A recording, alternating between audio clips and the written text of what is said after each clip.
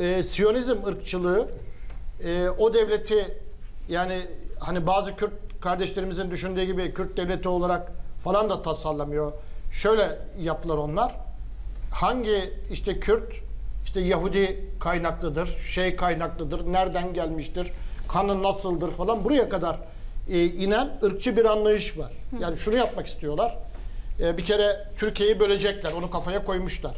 Şimdi sadece Gö- Gözde Hanım şu açıklamıyor. Efendim işte Türkiye'nin güçlenmesinden rahatsız oldular. Türkiye'yi frenlemek istiyorlar. Türkiye ekonomisini böyle şey yapmak istiyorlar. Türkiye'yi çatıştırmak istiyorlar. Bunları istiyorlar zaten. 40 yıldır istiyorlar. Ee, aslında tarihimiz boyunca istiyorlardı. Bugün de istiyorlar. Ama yeni olan ne? Fadime Hanım biraz evvel dedi ki 2019'da bir şeyler değişti. Ne değişti işte bunu yorumlar mısınız? 2017'de Amerika Birleşik Devletleri Kudüs'ü başkent olarak tanıdığını ilan etti. 2017 tarihinde bu çok önemli.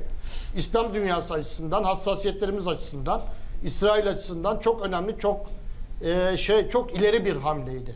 O zaman sadece e, yükselen tepki Türkiye'dendi. Onun dışında işte İslam dünyası dediğimizden gelen tepkiler malum ama e, o adımı attılar. 2017 2017 1917 tarihli Balfour Deklarasyonu'nun o deklarasyon da İngiltere'nin İsrail terör devletini devlet olarak kurmayı kurulacağını ilan ettiği tarih. Tam 100 sene sonra.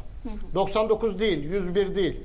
Tam 100 sene sonra 1917'den 2017'de bunu ilan ettiler. Bazel konferansından 50 sene içinde kuracağız demişlerdi İsrail devletini 50 sene sonra kurdular. Şimdi stratejik hareket ediyorlar. Biz Suriye'nin kuzeyindeki kantonların birleştirilmesine izin vermedik. Ee, Kuzey Irak'ta oldu bittilere izin vermemeye çalıştık. Olmadı. Sınırlarımızın ötesindeki terör tehditini ileri ittik. Ama biraz evvel de belirtildiği gibi çok zorlu bir coğrafyada, çok büyük bir alanda ve Amerika Birleşik Devletleri dahil süper güç denilen e, bütün devletlerin altından kalkamayacağı bir operasyonlar dizisini biz bu süreç içerisinde gerçekleştirdik. Şimdi önümüzdeki süreç içerisinde ne yapmak istiyorlar? Çok açık bir şekilde. Artık iş PKK terör örgütü, PKK kullanılan PKK terör örgütü işte bunlar maşa olarak kullanıyoru geçti. Evet. Yani güneyimizde İsrail uydusu bir devletin kurulma kararı zaten verilmişti. E, fiili olarak onu gerçekleştirip o bölgeyi İsrail açısından, İsrail terör örgütü açısından tırnak içinde güvenli hale getirmek istiyorlar. O İsrail'in güvenliği demek çünkü e, soykırımcının güvenliği, soykırımcının soykırımının devam etmesi ve yayılması demek Türkiye'nin ve insanlığın güvenliğinin ortadan kalkması demek. Onun için şu anda bir şeyle karşı karşıyayız. Bakın geçen e, 12 şehitimiz vardı. E, büyük bir e, yürüyüşün hemen öncesinde oldu. Bugün e, bu kadar şehitimiz var. E, biz aynı gün hem Gazze'deki şehitlerimizi Evet. hem e, Kuzey Irak'taki şehitlerimizi, bütün şehitlerimizi andık. Şimdi Gazze ile Anadolu'nun kaderinin, Gazze ile Ankara'nın, Gazze ile İstanbul'un, Filistin'le Türkiye'nin kaderinin ortak olduğunu gösteren e, birçok olay yaşıyoruz. Ve buna karar vermişler. Yani kimse başını kuma gömmesin. Türkiye Cumhuriyeti Devleti'nin bölünmesine, güneyimizde bir teröristanın kurulmasına, Son bir iki Amerika Birleşik Devletleri Serdar ve müttefikleri Yemen'e saldıran, dünyayı karıştıran, e, Irak'ta bir buçuk milyon insanı katleden, Afganistan'da katliam yapan, dünyada birçok soykırıma imza atan, bu e, devlet görünümlü terör örgütleri, PKK ile biz mücadele etmiyoruz. PKK kim ki? Yani PKK şu anda değil. Şu anda e, açık bir şekilde vekalet savaşları diyorlar. Onu da aştı.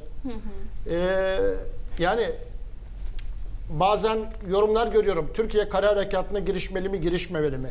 Türkiye tuzağa çekilmek isteniyor. Yani Türkiye daha önce şu tartışmalar da yapılıyordu. Türkiye işte Kuzey Irak'a gitmeli mi, işte Suriye'ye çıkmalı mı, sınırlarımız içinde mi kalmalı? Ama Türkiye için dayatan bir şey var. Yani Türkiye kara harekatını gerçekleştirmek ve o bölgeyi tam olarak kontrol altına almak zorunda. Burada tabii Amerika Birleşik Devletleri ile direkt olarak karşı karşıya geleceğiz. Yani Evet. Türkiye'nin Amerika lütfen. Birleşik Devletleri ile direkt olarak artık vekalet savaşları usulü de değil direkt olarak karşı karşıya gelme noktasına çok az kaldığını düşünüyorum. E burada e, bilmiyorum gireceğiz mi Sayın Cumhurbaşkanı önce Sayın Devlet Bahçeli aradı. Ardından Sayın Meral Akşener aradı. Bunlar çok değerli, önemli girişimler. Evet, bugünkü görüşmeyle Burada devam içerideki edeceğim. mutabakat alanını mümkün olduğunca genişletmemiz gerekiyor. Evet. Şu anda görünen siyasette e, belli belli partiler yani işte AK Parti, MHP, e, İyi Parti teröre karşı bir blok oluşturma yolunda e, ilerlerken maalesef CHP ile DEM farklı bir bloku Evet. temsil ediyorlar. Peki, onu- onlar onu ayrıca konuşacağız. ediyorlar. Onu ayrıca konuşacağız Ayrıca Serdar konuşacağız Bey. mı? Evet. Evet teşekkür ediyorum. Sağ olun şimdilik. Tekrar döneceğim size. Sağ olun.